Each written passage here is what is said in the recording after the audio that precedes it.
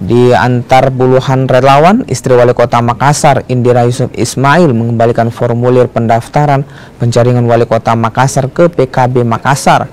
Indira menjadi satu-satunya perempuan yang mengambil formulir sebagai bakal calon wali kota Makassar di PKB. PKB menjadi partai keempat mengembalikan formulir oleh Indira. Sebelumnya, Indira juga mengembalikan formulir ke Partai Demokrat, Hanura, dan Partai Keadilan Sejahtera atau PKS.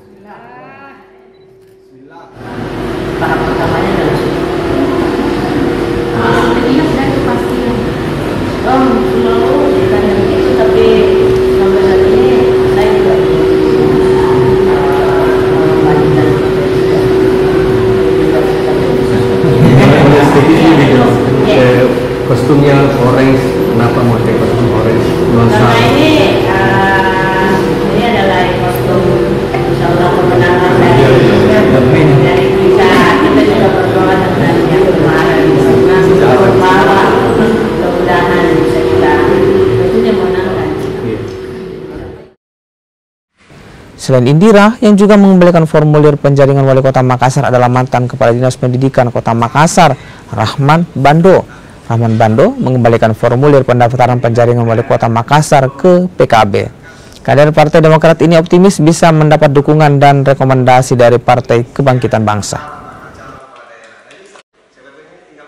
Uh, hari ini kami mengembalikan formulir yang telah kami isi lengkap di Partai Kebangkitan Bangsa. Saya lihat tadi di daftar ternyata uh, bakal calon pertama yang mengembalikan formulir di sini. Ya, insya Allah mudah-mudahan setelah ini kita stop diproses di PKB dan kami siap mengikuti proses selanjutnya. Selain PKB sejauh ini partai apa lagi Pak yang sudah dilakukan? Uh, kami ini adalah partai ketiga yang telah kami kembalikan formulirnya hmm. uh, di Partai Demokrat selesai. Hmm partai keempat malah partai demokrat selesai PDIP selesai kemudian Hanura selesai sekarang hari ini kita di PKB karena memang hari ini dikasih jadwal Alhamdulillah kita uh, sudah penuhi semua uh, apa yang telah disyaratkan di dalam formulir